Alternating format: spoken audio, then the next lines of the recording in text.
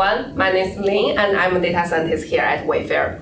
Today, I'd like to tell you how we measure price effect here. As an e-commerce company, we have tens of millions of products provided in our catalog, and we need a price for every one of them. So it's very important for us to make sure that our pricing strategy is optimal. But it's not a trivial thing to do. So I'd like to introduce you a couple of ways that we actually do that. So the first way is regression, or you would say the most classic way to do that.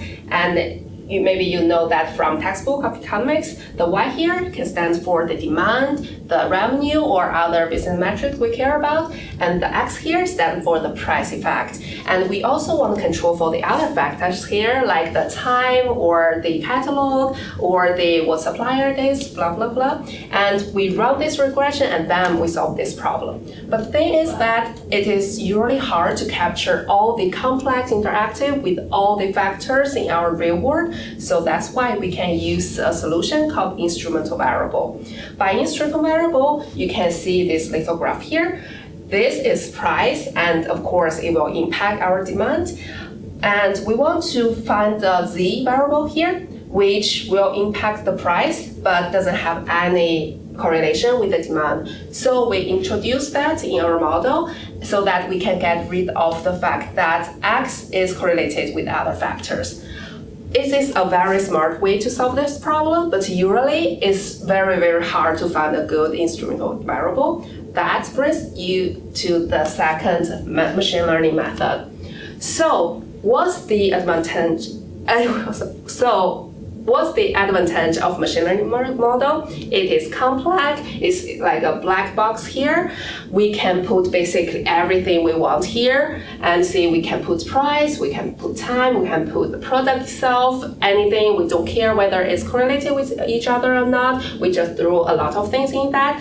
And it will try to find a smart way to give us the amount that we care about.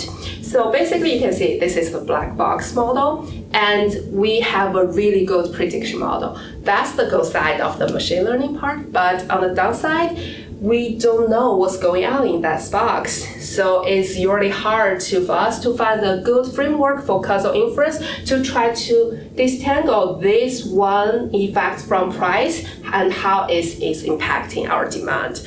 So we have a couple of ways like uh, partial dependence plots and deep IV, blah, blah, blah. So that is all methodologies for us to try to look into this black box of machine learning and understand how our price is impacting our pricing. Oh, sorry, uh, our price is impacting our demand. So this is the second way. But you say, hey, this sounds also a little bit, you know, not real. How about a really perfect controlled environment? That would bring you the third way, a price experiment. So ideally, we can have two identical group, and one of them is called treatment, where we give a certain price pricing treatment, and the other one, even though is like really similar with the treatment group, we give nothing to it and leave it like that. And we give uh, the same time range and leave it like that. So all the other factors will be controlled and only difference between treatment group uh, and control group is whether we have the price impact, uh, the price treatment. And we use a methodology called diff in diff. So basically we want to say, hey, what is the difference that the treatment itself brings up after like a two weeks, four weeks, or six weeks experiment. And then we will know what is the price effect itself.